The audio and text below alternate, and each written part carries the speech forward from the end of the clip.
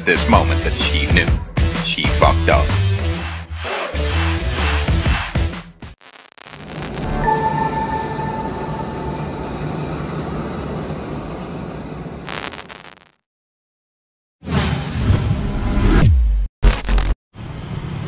What's up mga kayon? Welcome back. Pa rin Siyempre dito lang sa Joe Ano Work Travel Doon nila balita malaki na kapaya Sumasalabi sa katotohanan lamang mga kayon August 24, 2020 Araw ng lunes Andito tayo sa may tapat ng Rizal Park Sa may Luneta Dito sa may lungsod na Maynila pa rin Para ating tignan Yung ginawang bike lane kahapon Ng uh, DPWH no? So sila lansan na yung mga bike lane Sa buong kahabaan ng Top Avenue.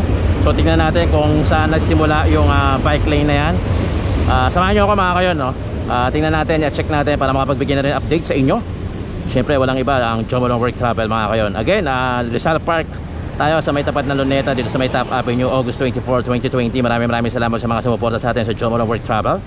Ating tignan ang uh, bike lane dito sa may Top Avenue. Let's go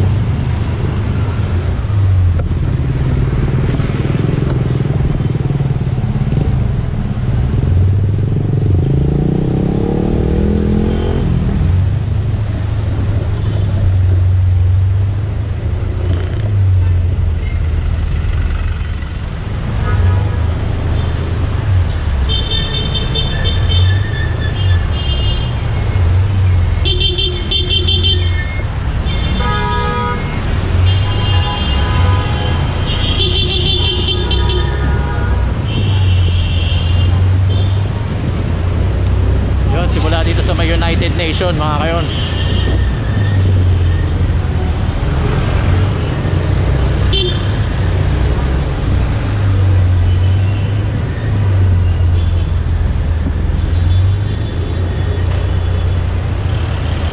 Hindi tayo pwede dumaan doon kasi uh, linya yon ng bike lane. So dito na tayo sa gilid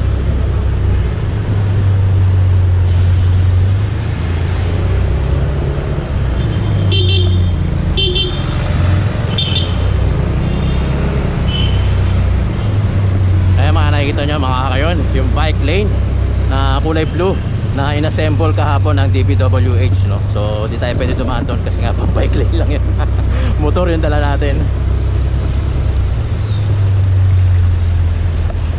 so nag start siya sa UN no? tingnan natin hanggang saan yung, uh, yung dulo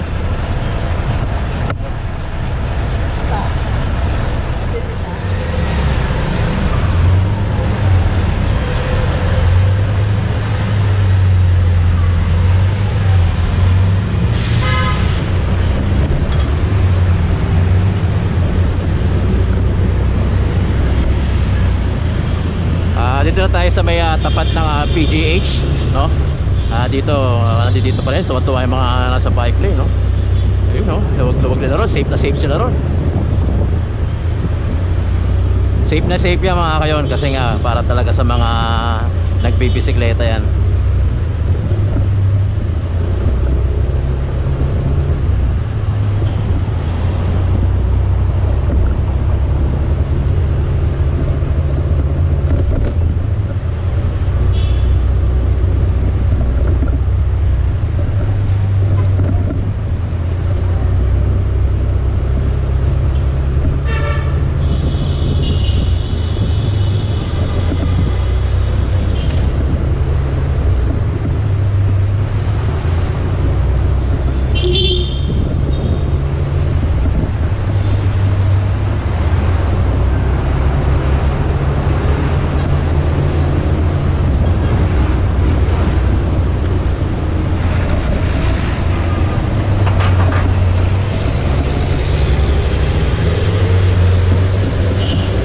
nakatawid sa Pedro Hill, meron pa rin naman na bike lane dito. So nakatawid na tayo ng Pedro Hill. Again ha, nasa Top Avenue tayo, yung buong kahabaan ng Top Avenue. Ah, tignan natin kung, uh, kung saan ang kaya natin aputin dito sa bike lane na to. Kaka-install lang nito kahapon mga kayon.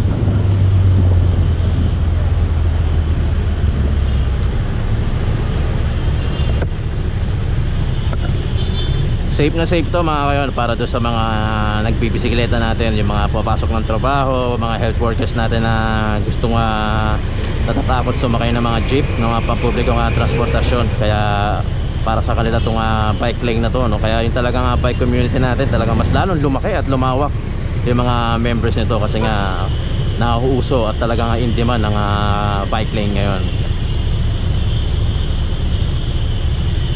Ah, dito tayo sa may General Malbar mga kayon. No? Ah, ngayong araw din binuksan yung uh, Lagos Nailad uh, underpass.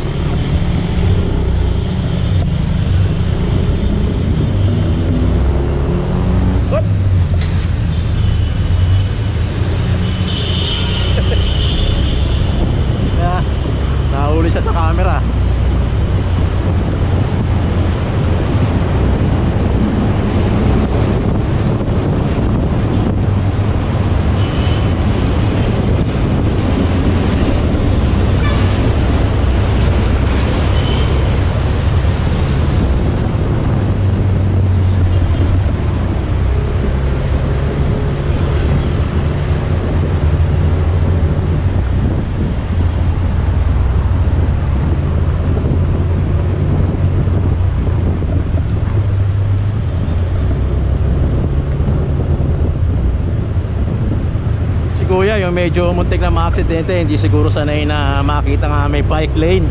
Etong buong kahabaan ng top, at top avenue kaya medyo nagulantang siya o nagulat siya doon sa bike lane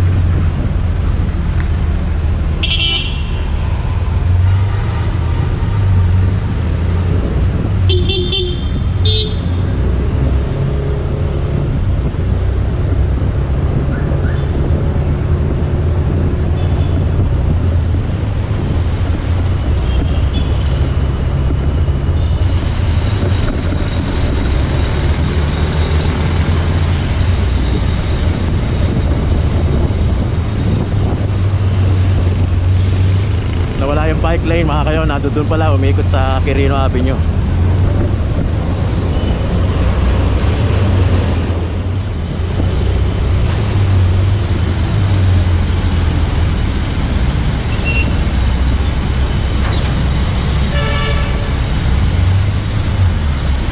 So dito pala kumanan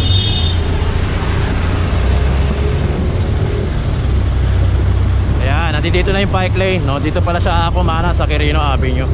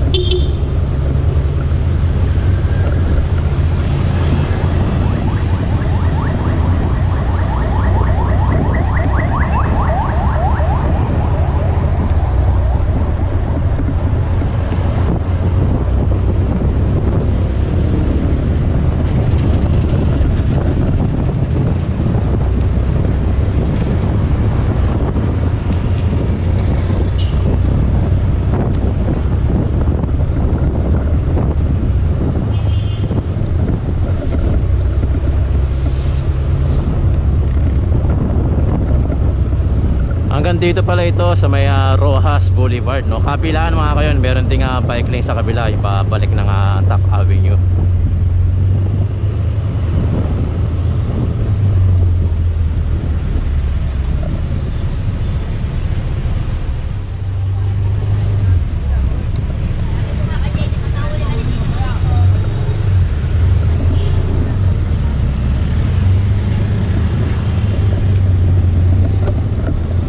Ayun, ah, hanggang Rojas yung ah, yung bike lane. Malaking bagay na din yun mga kayon. Okay mga kayon, maraming maraming salamat. Thank you for watching Joe Mono Work Travel. Updated lang tayo dito sa may ah, Top Avenue, yung buong kahabaan ng ah, top para doon sa bike lane na tinatawag na inassemble lang kahapon ng DPWH. Maraming maraming salamat. Thank you for watching Joe Mono Work Travel.